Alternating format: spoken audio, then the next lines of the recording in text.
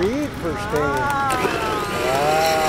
When I was a kid, my mom and dad always told me not to cross my eyes because they might get stuck that way. Okay, They also told me not to eat apple that. seeds because a tree might grow in my stomach. Yeah. I Just gotta believed them. Just gotta drive it. Those things made sense. Drive it. But I never did buy the warning that masturbation causes insanity and hair to grow on one's palms. I mean, look how I turned out. Came into the office, Look how I um, turned out. but it, it, it's pretty much resolved itself, and we're not behind on anything. We're getting everything out on time. And Good. Yeah, I knew it was all just a big political nothing. it, it, it's, you know, we're the oldest federal institution in this country, 250 years old. More than that, we've been around. You know, we have a pretty well greased, oil- you know, oiled system that's just going to keep running no matter what. Exactly. Right, exactly, exactly, exactly.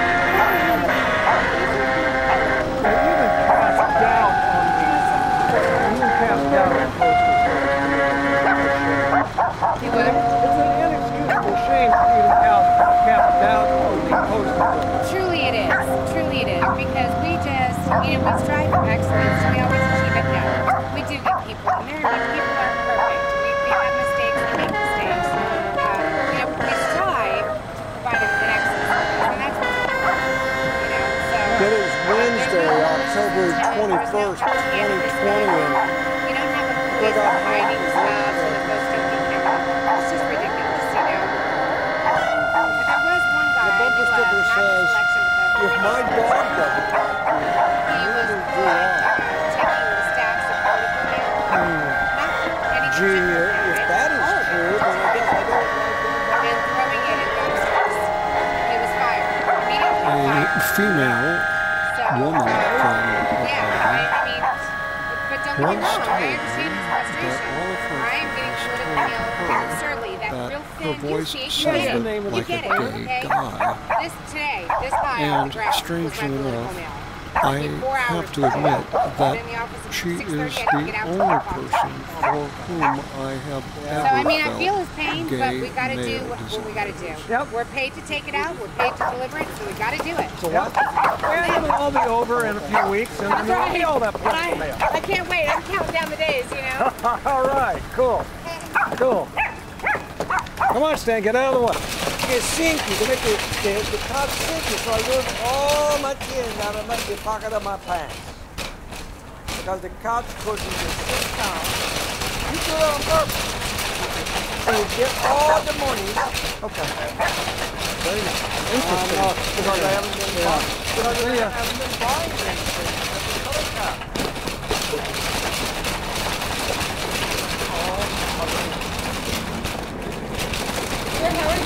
I'm doing well on yourself. Good. That's good to know. Plastic will be great. Yes, thank you very much.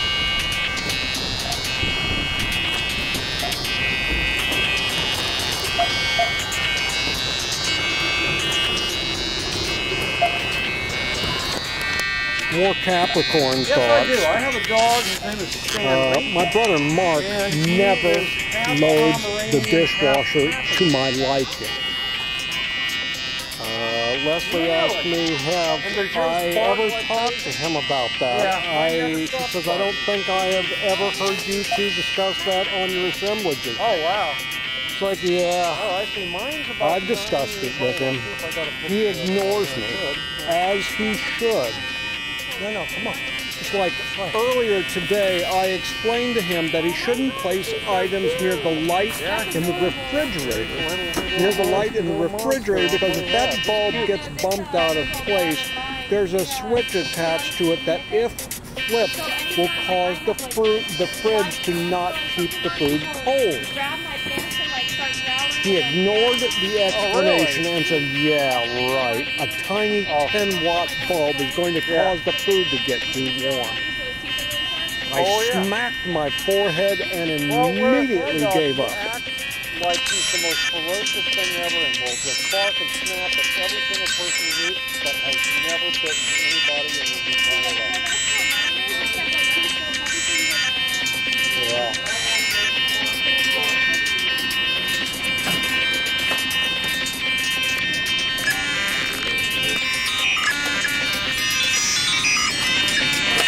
Okay.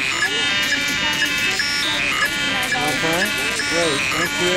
And my thanks to both of you. Have a good day. Okay. I, I got it. Thank you very much, Joe. You're welcome. Okay. Bye-bye.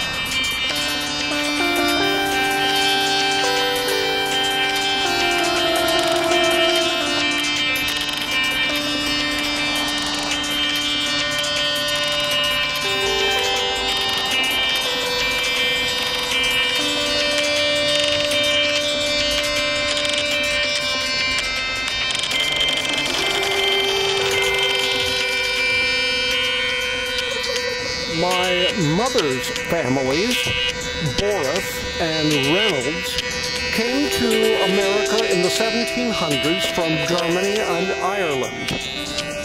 And by the mid 1840s or so, were well established in southern Indiana. From what I have read, the Borifs were fairly rich landowners in Bloomington, Indiana for several decades a dissolute like head of the family gambled away the family fortune in the 1870s.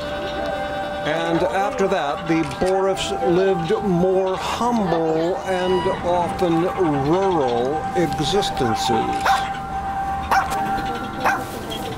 Okay.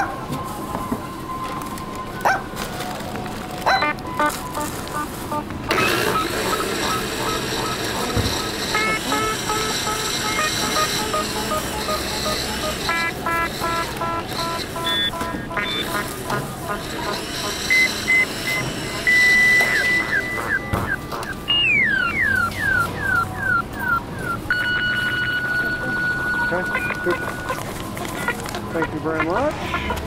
You too. Don't bark at Gypsy time. No. Bark at.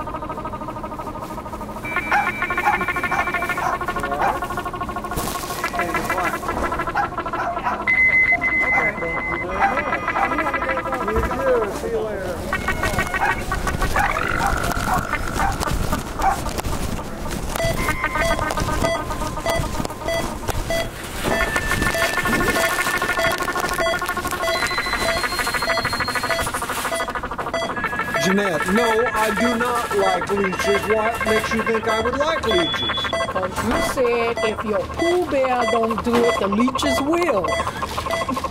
Do what? Suck Suck on what? your shalom ding dong.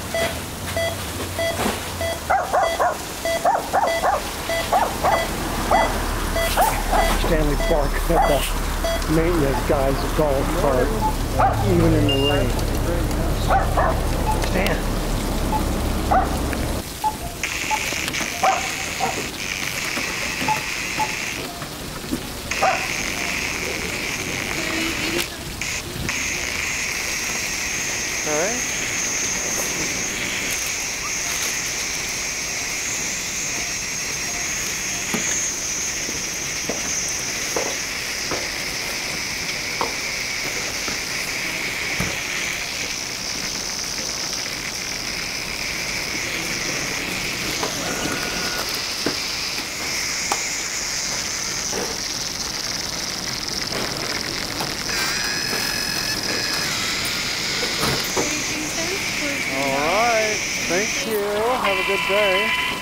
nhiều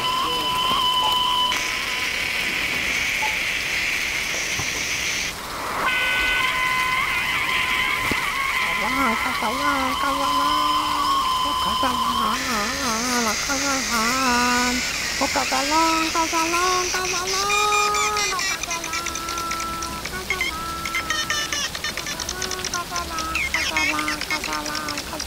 hấp dẫn Bye. Both of my parents aspired to better things. After they got married in 1956, they both worked at the RCA factory in Bloomington, assembling televisions on an assembly line. My dad took architecture classes at Indiana University and through hard work and diligent home study acquired work as an architect.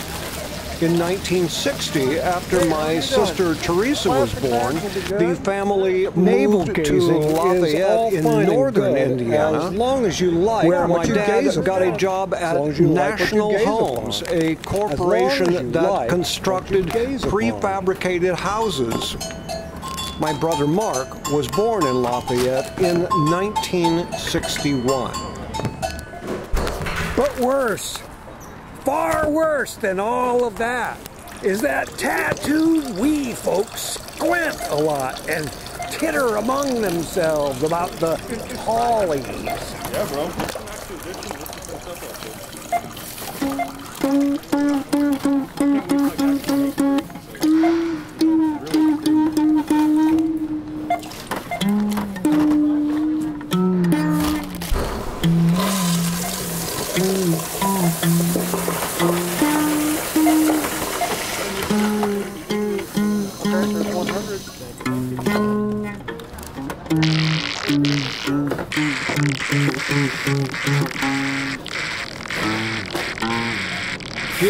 Dupree will be proud of me because I ain't gotta use no capo.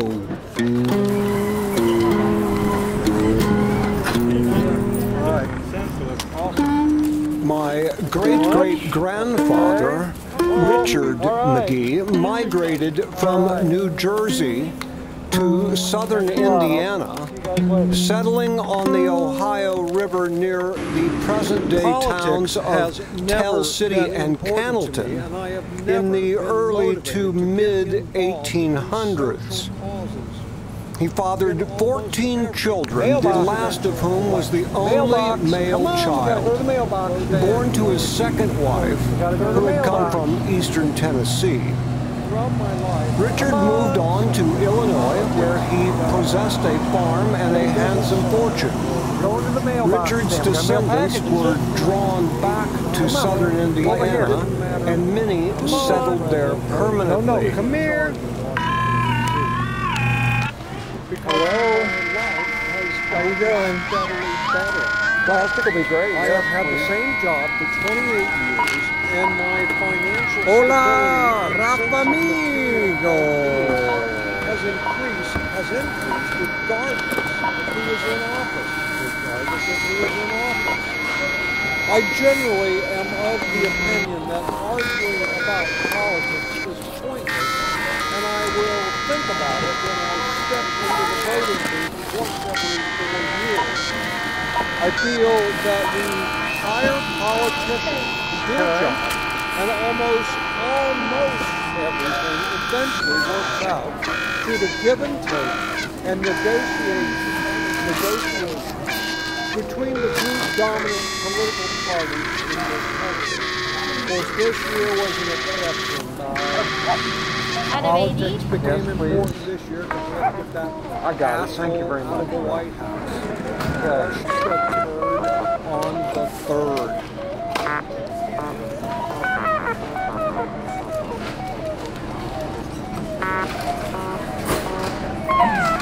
Right.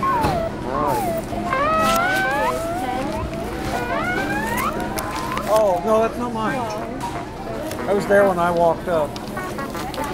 Okay, great. Thank you very much. You too. Bye bye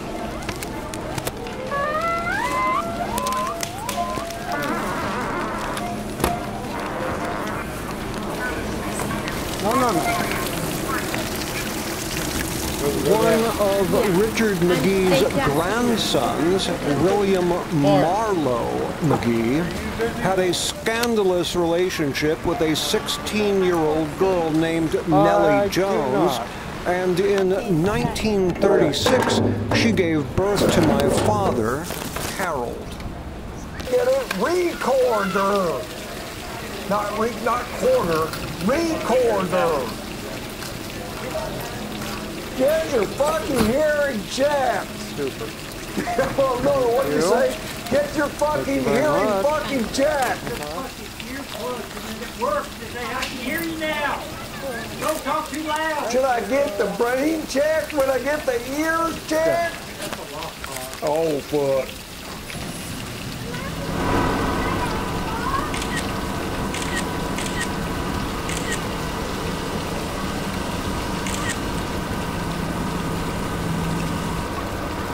I was born in Bloomington, Indiana in 1958. In southern Indiana, toward the end of that era, in southern Indiana, toward the end of that era, toward the end of that era that is commonly called the baby boom. Toward the end of that era that is commonly called the baby boom.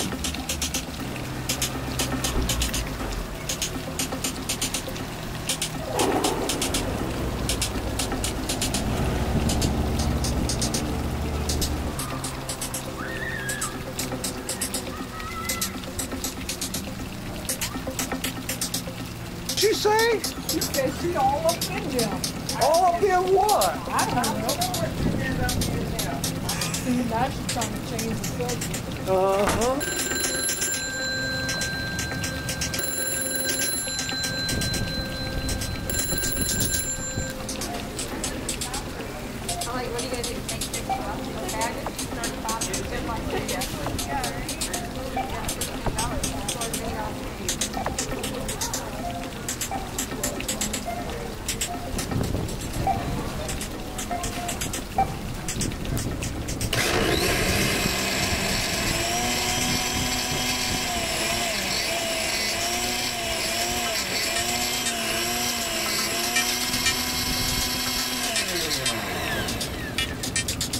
Two do you two know what's brown and sounds like a bell?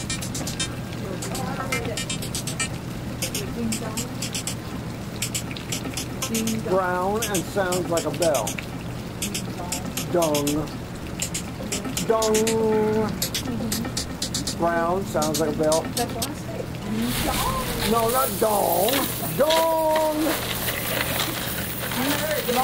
Ding dong, the ding dong dong. All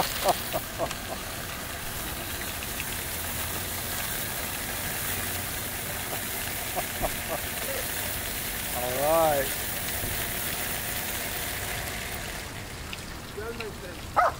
It's a friend, Stan. It's your friend.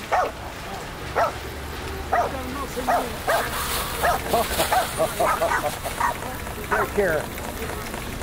Yeah.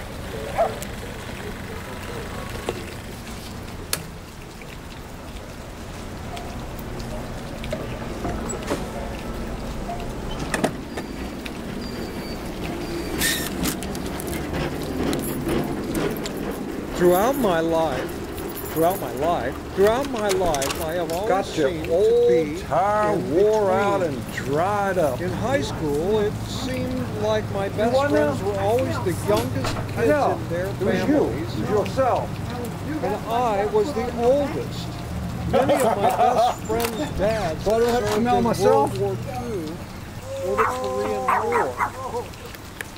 I was too young to be a hippie, and by the time that punk rock filtered through to the Midwest, it was already dead. When I did find out about punk, to me, it consisted almost totally of the Sex Pistols.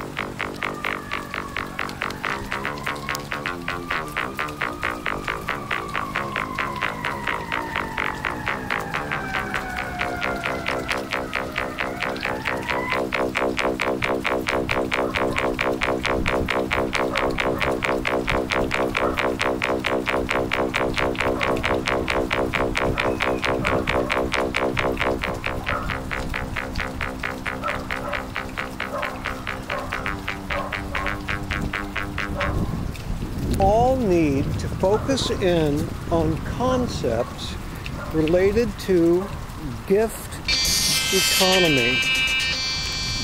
That one's personal esteem increases in direct relation to how much one gives. A further observation about one gives. My How much ex-sister-in-law is a Capricorn and a certifiable bitch from hell, but when And one of the greatest gifts one can give from room is to, create room, a turning off community. light Create connections between people, not divisions, not divisions. To create connections, create connections between people, to create connections between people, not Rain divisions. down here in the valley. I Valley never faced the possibility of being Down drafted to serve in the military. Prairie. Good for me. Never had to even register for the Stanley and draft. I are out for a After walk the in the rain. end of I the just war in. Vietnam, I I have had It's a Monday. Very was a odd. short October period of time during about, which uh, young men who 5:15 turned 18 were not just got home from required work to register for the Stanley and I draft. are out for a According to the Selective Service System Walk in the website, rain. From March then I have 29, 1957 through December 5 o'clock. 31st, 1959, were not required to register with the Selective Service System because the registration program was was suspended when they would have reached age 18. The requirement to register with Selective Service was reinstated in 1980, but only for men born January 1st, 1960. Boys will be boys with their toys. You just did what I always say. Peanut butter. What kind of butter? She realized. I ain't say what kind of butter. Peanut butter, donkey. What was this? Ah! You know about that. What's that all about? And then when you about done, My dad was a self-made man in every sense. As a kid, he had learned to be resourceful, focused, and serious due to a difficult family situation in which one or both parents were often gone from home for varying periods of time. He had to raise his four younger siblings and make sure that they were fed, and make sure that they were fed, often relying on government-provided food goods. especially during the summer when it's still light out, you're late. Oh, I heard that summer. So I'll be back there laying down. All of a sudden, I'll, I'll look at my the time on my phone. and I go, oh my God, it's seven o'clock! And I'll jump up my bed and go running out into the front room, and my brother's sitting there going, what is wrong with you? Listen, I'm late for work. Man, I said it's seven thirty in the evening, not the morning. That's what I did, and then I had a that's cereal. I said, what is it today? They say Tuesday. I said, okay, what you? Eight. Then I looked, Heart's on 8 p.m. fire. Yep. Elvira. You're not the only one that Now,